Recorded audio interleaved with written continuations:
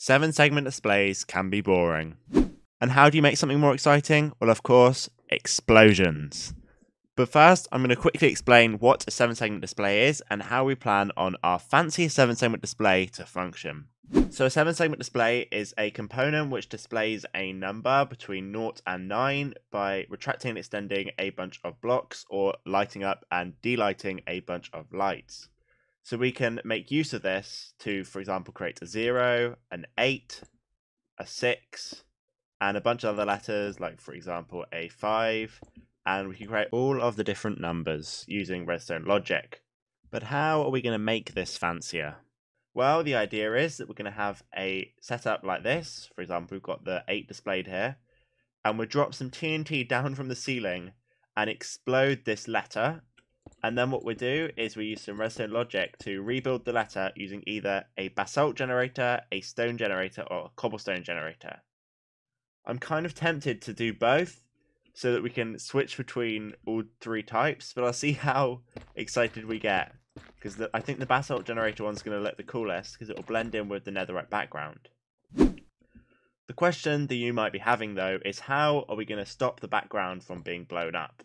And I've already thought of this. We're going to use netherite blocks to prevent the background from being blown up.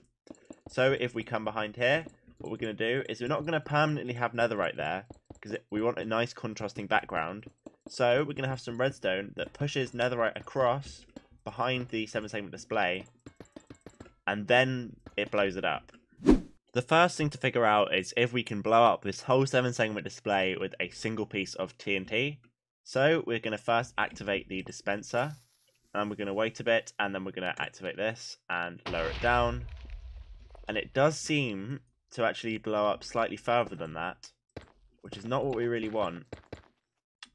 So ideally we won't want any of the stuff behind to be damaged by the explosion at all. I believe that this is the optimum distance for the TNT so that it doesn't blow up any of the back wall. So let's give this a test. So we're going to power the TNT and remove all of the blocks around and see what it explodes and it doesn't seem to explode any of the back wall. Now, I do actually think we might be able to avoid using netherite altogether, It is funny because I thought this would only be made possible by netherite, and simply just use quartz all around. So, let's put quartz all around and have a look and see if it actually gets exploded, because I don't think it will. So, we'll have it like this, we'll have the TNT here on this block, and of course that'll be dropped down from the ceiling so that it explodes at the right height. So we won't need any redstone in front. Then of course we've got to have some blocks around to align it, which would all be done up above. Then we activate the TNT, remove all of the blocks around, and see if it explodes any of the back wall.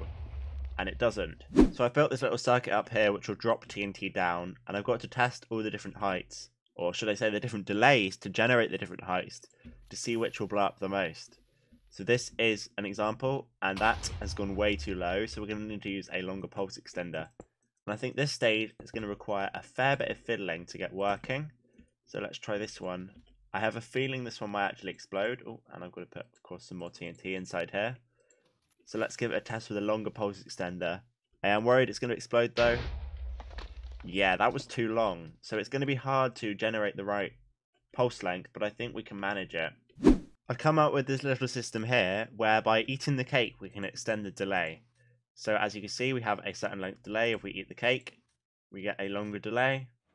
If we eat the cake some more we get a longer delay, etc etc. And the way this works is by just changing the signal strength coming into the pulse extender so it lasts for a different amount of time. So I think it's time to test it with some actual TNT and that looks the closest in length to what we need. So let's put a couple of pieces of TNT in there and give this a test. And I'm well aware this is probably still going to explode. And that's far too low down. So we're going to eat some more cake. And hope we don't explode our redstone, which is something that I am worried is going to happen. Getting the delays to be just right is a massive pain. I believe that we may have started to get close to the sweet spot for the redstone, so let's activate it after changing up the pulse extender some and just have a look and see what it blows up. So that seems to get the top half, so I'm just going to do this a couple of times and see if we can actually get any of the bottom half, but I think we're going to have to extend it slightly, the delay, because we're not quite getting all of the basalt at the bottom. After fiddling about with the redstone for a bit, I've come up with this solution. Now, it's not the most compact in the world, but it does work. And it works, I'm pretty sure, 100% of the time, meaning that it blows up every single block. So let's give a demonstration. We've got just got the pulse extender. You can see how the TNT works. It's all aligned perfectly so that it blows up all of the blocks. Then, of course, we'd push them out again for the next number and I'll just show you once more just to prove that it is indeed reliable. And I've done plenty more of these tests, um, more than just the two that I'm showing you, just to make sure that it does work all the time, and it seems to work. So we're now using 3 TNT. We've got a little pusher over here. Let's just watch that. It pushes across the TNT here so that they can all be aligned perfectly. We've got trapdoors to get the height right. We've got um, target blocks just to redirect the redstone so that it goes into these, which I thought was neat because of the new target block functionality in 1.16. You may now notice a few changes to the design. So we've added these two wings on the side, which are going to push some blocks behind the 7 segment display, so we get a nice flush quartz background. The irony of this is that I'd actually decided um, to use a different system than I'm going to be using currently, using the piston push limit with the blocks over there, and what ended up happening was after I did the explanation, edited all the clips together, I realized that actually we could do this in a much simpler way, which is the way I'm telling you now, because I've got rid of all the clips from the old explanation. So let's go through how the system's going to work. So we've got our number displayed here, and you may notice that we've got some basalt behind. So say the number 6 was displayed, we'd actually end up with a basalt piece there, which makes it really difficult to see that it's a number 6 and not the number 8.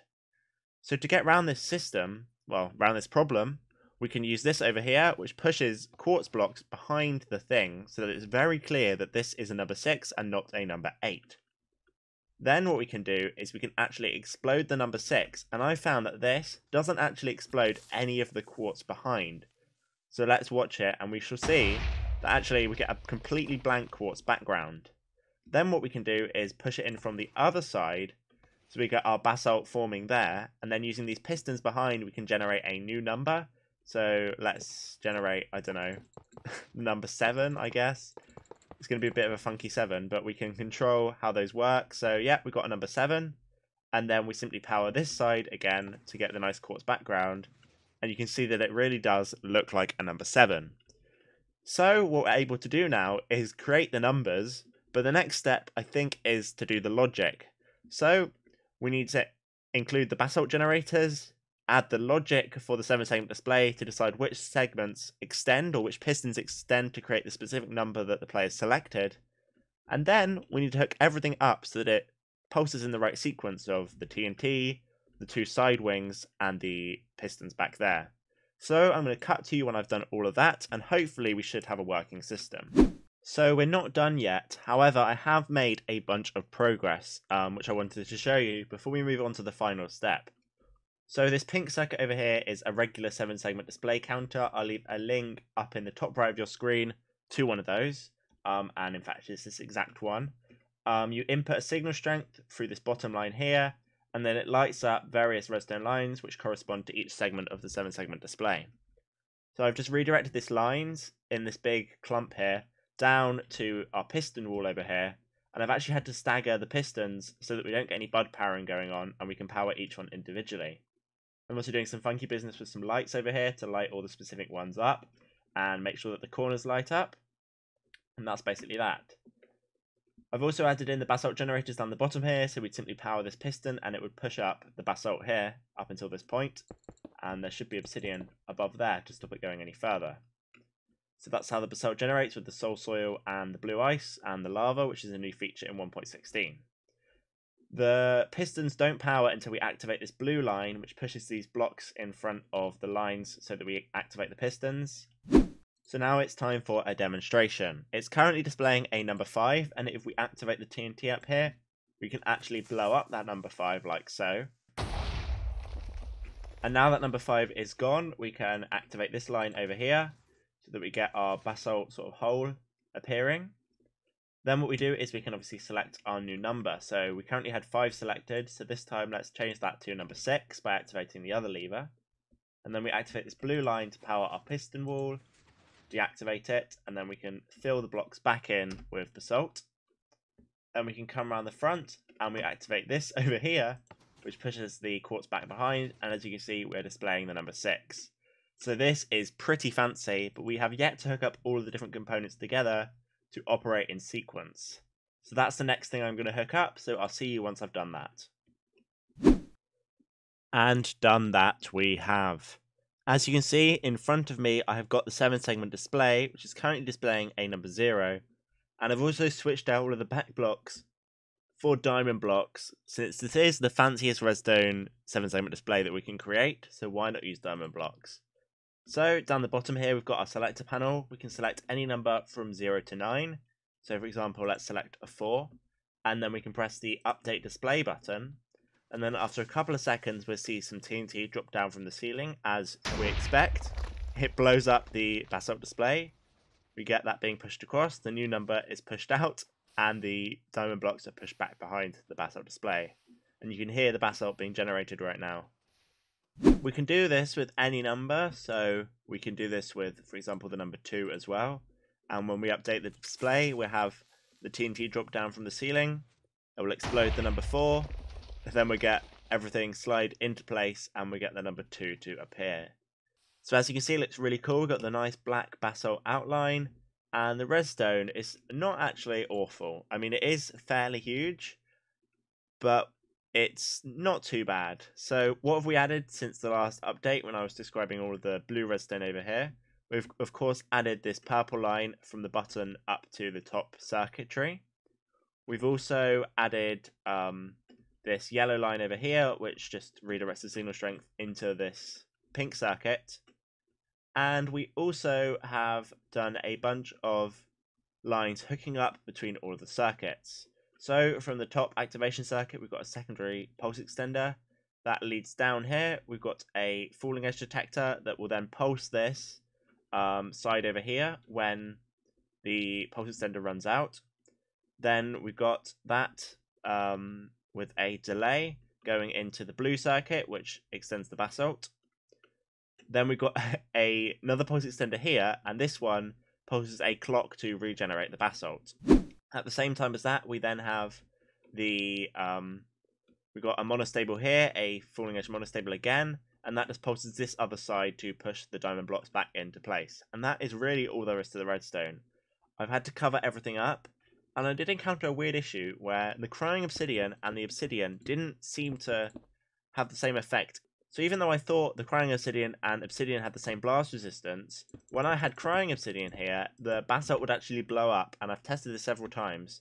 And when we use Obsidian, that doesn't happen, and I'm not entirely sure why that is, but it's just something we had to sacrifice for this display, because I do think the Crying Obsidian looks better than the regular Obsidian, but to be honest, it still looks absolutely amazing. So that is our 7 segment display. Um, if you've enjoyed, remember to leave a like, comment, and subscribe down below. My name's been Vortex Warp. Thank you for watching, and I'll see you in the next one. Goodbye.